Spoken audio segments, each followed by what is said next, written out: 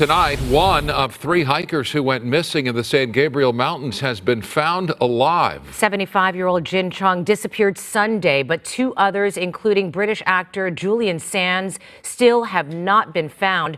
One hiker is still missing on Mount, Bal- on Mount Islip, and Sands is missing on Mount Baldy. KTLA Shelby Nelson joins us live from Mount Baldy with the update. Shelby. Sure, Micah, this is something all of us have been wanting to hear after learning about these three missing hikers. There's three separate incidents. In the more recent one, 75 year old Jin Chung had come here to Mount Baldy to go hiking on Sunday and hadn't been seen or heard from since. Well, now we know after speaking with the San Bernardino County Sheriff's Department that he has been found alive. He is responsive. We did see in the past hour the fire station out here as well as an ambulance taking him to a hospital. And what an amazing survival survival story for him, right? Especially after having spent two nights in our formidable and freezing mountains. The warnings are clear. Icy trails and hiking not advised. It's a formidable landscape that has already claimed the lives of two hikers in the last 30 days. 75-year-old Jin Chung of Los Angeles went missing Sunday morning and has now been found alive. He was taken to a hospital and was responsive. Officials with the San Bernardino County Sheriff's Department say Chung carpooled to Mount Baldy with two other people. They separated at the mountain and agreed to meet back at the vehicle at 2 o'clock, but Chung never made it.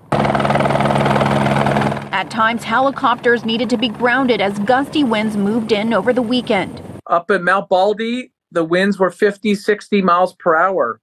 Some of the windiest spots in that area on the foothills of the San Gabriels were as high as 75. And more Santa Ana winds are on the way, posing yet another problem. Still no signs of British actor Julian Sands, who went missing Friday, January 13th, after heading to Baldy Bowl. And the search continues for 61 year old Bob Gregory, who was also reported missing after he's believed to have hiked near Crystal Lake in the San Gabriel Mountains. Ground crews also having to cease operations at times because of the ice. It's something Ontario resident and avid hiker Doug Hardy has seen firsthand. The conditions this year are the iciest I've ever seen. It's way harder coming down.